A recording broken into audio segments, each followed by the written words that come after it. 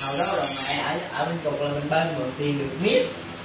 Cái ờ, uh, họ gác cái uh, trúng đề mượn vấn đề thì bỏ cho. Trúng đề thì rồi mẹ để cho bỏ nó nằm ngồi ở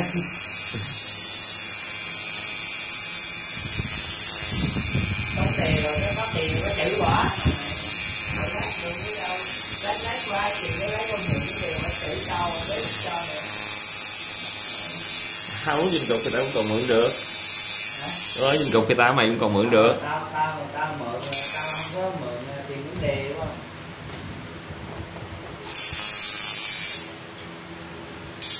Tao mày hay mượn tiền đi nhậu